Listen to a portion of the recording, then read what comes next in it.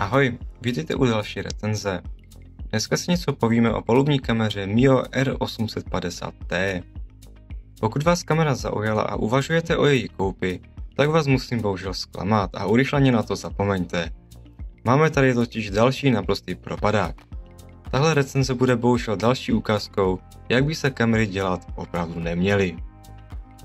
Jedná se o zrcátkovou kameru, to znamená, že ji používáte místo vašeho běžného zpětného zrcátka, na které kameru připevníte.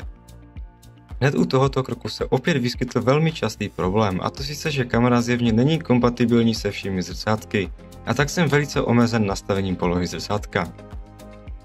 Naštěstí to u mě vyšlo tak akorát na hraně, ale kdybych byl vyšší nebo měl sedadlo nastavené výše, už bych zrcátku viděl kufr a ne dění za mnou, což je samozřejmě dost problém.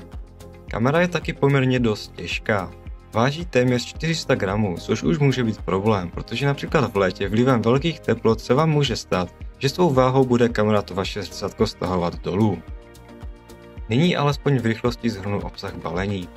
První dojem nepůsobil vůbec dobře, protože po otevření balíčku a rozbalení jednotlivých komponent jste si mohli všimnout, že veškeré příslušenství působí úplně obyčejně a vlastně i docela odbitě. Dokonce to odbyli tak moc, že se ani neobtěžovali vám tam dát ten blbej hadřík společně s tím pičincem na vycvakávání plastů.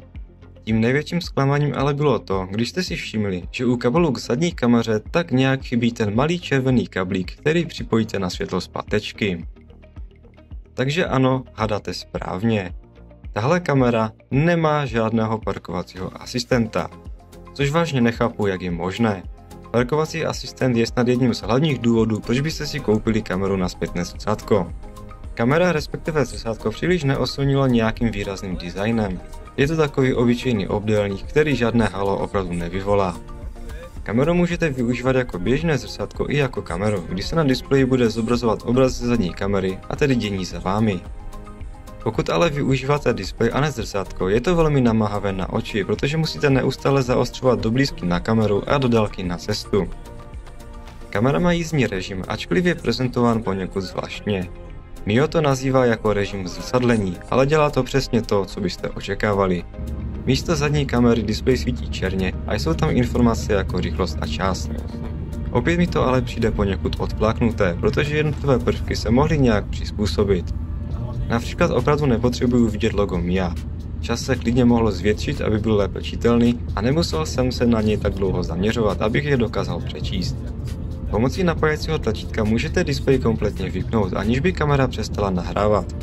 Co určitě musím pochválit, že kamera má LED indikátor, jestli je v provozu. Takže i když máte displej vypnutý, pořád díky blikající ledce víte, že kamera pořád nahrává. Jediná nevýhoda zde je, že dioda v noci bliká stejně intenzivně jako ve dne, což mi osobně sice nevadí, ale dokážu si představit, že by to někoho mohlo rozptilovat. Kamera má dva způsoby uchycení na zrcátko. Jeden je přímo nalepením a druhý standardně přes gumové pásky. Nalepení jsem neskoušel, takže nemůžu posoudit, ale standardní uchycení přes gumové pásky je dost bída. Celkově zavěšení nevypadá vůbec věrohodně, Kamera působí poměrně volně a měl jsem dost strach, že při najetí na nějakou větší nerovnost gumička vyskočí a kamera spadne. Pro rychlé srovnání můžete vidět, jak lehce se dá gumička z kamery odepnout a jak těžce se dá gumička odepnout z předchozí recenzované kamery Navitel MR450 GPS.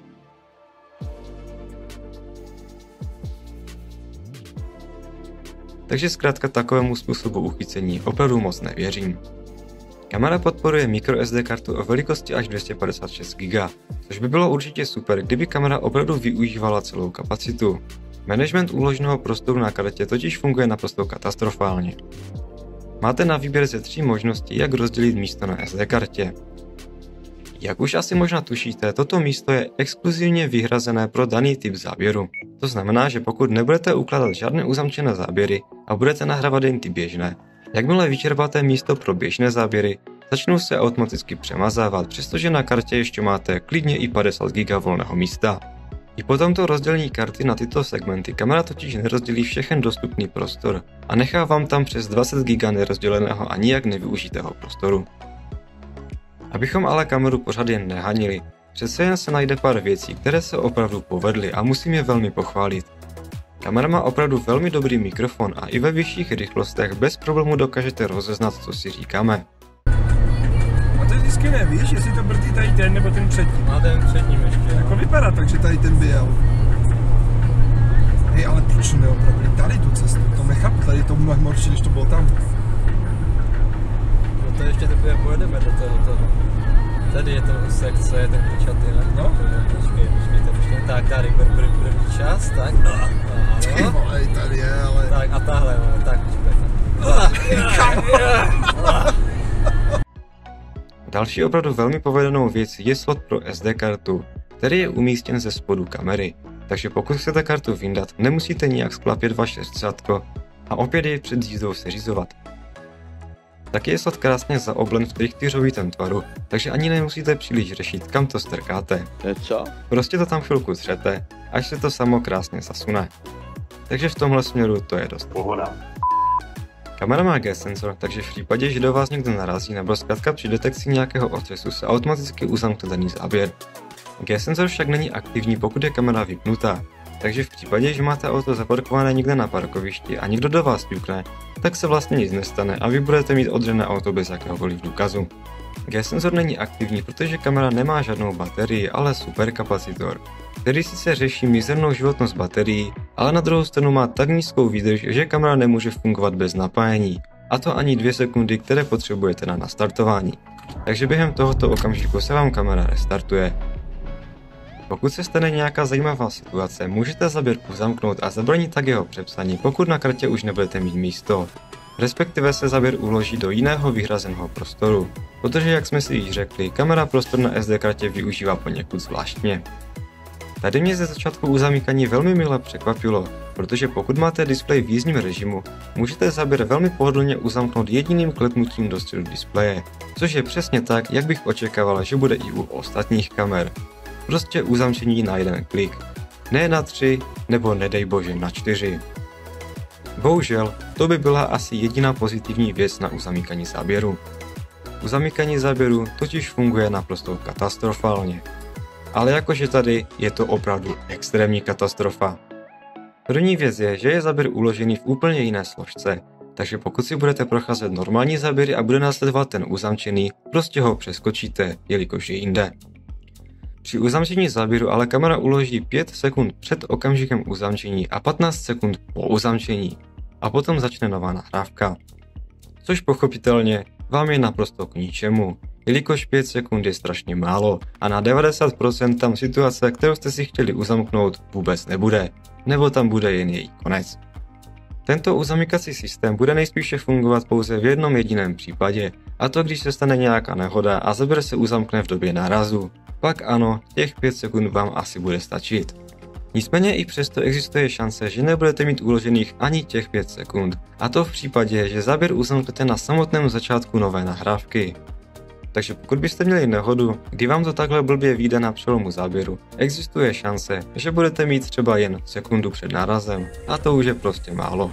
Opravdu nejsem schopen pochopit, jak takovýhle systém uzamykání mohl někomu přijít jako dobrý nápad. Kamera má hlasové ovládání, takže můžete pohodlně například uzamknout záběr bez toho, aniž byste s kamerou manipulovali. Bohužel, ačkoliv mikrofon je velmi dobrý, že jde krásně příkazům rozumět, hlasové ovládání téměř vůbec nefunguje, ať jsem se příkazy snažil vyslovovat různými způsoby a různým přízvukem. Kamera na pokyn zareagovala jen ve velmi mizivém procentu. Emergency recording. Emergency recording. Emergency recording. Emergency recording. Emergency recording. Emergency recording. Emergency recording. Emergency recording. Emergency recording. Emergency recording.